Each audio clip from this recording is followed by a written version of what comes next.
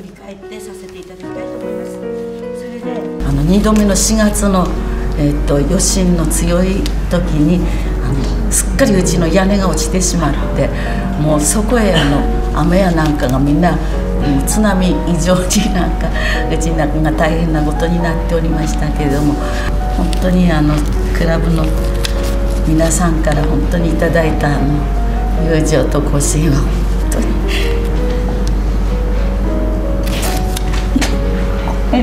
言葉にならないくらい本当に感謝しております。車も流されてねでもうちでは誰も亡くなった人もいないし、大丈夫です、はい、うちのお父さんがすっごい団体なんだなってうまいよかったねって喜ばれました。あの続きたいと思いますね 工場を4つ流しました。それから鶏が100万羽。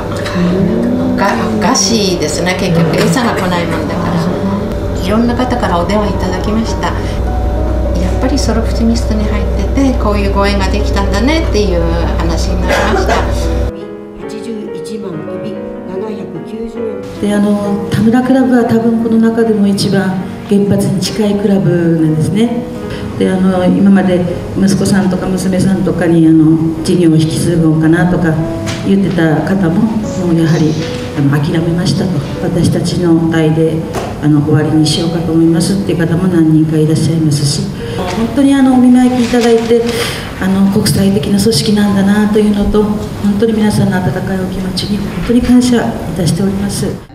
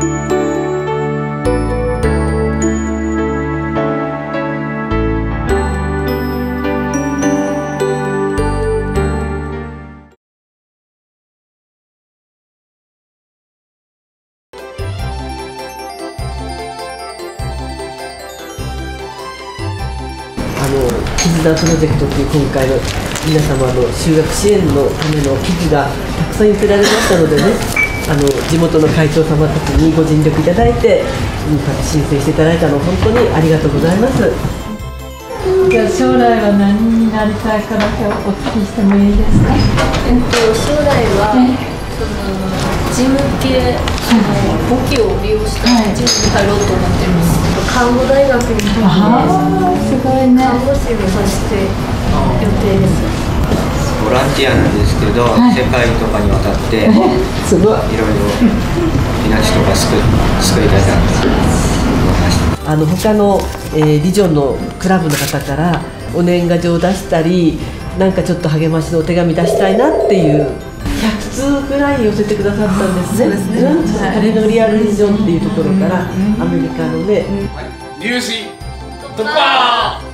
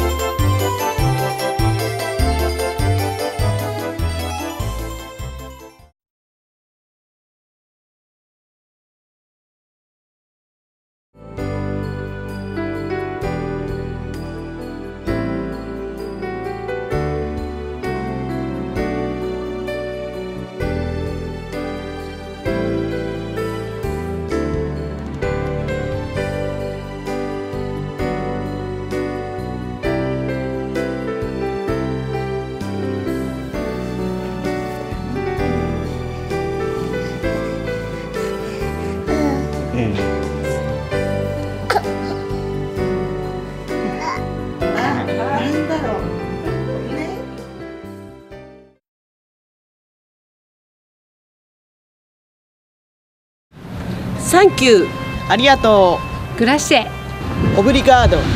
メルシー。ありがとう。素晴らしい。ありがとう。日本と世界中のソロプチニストの皆様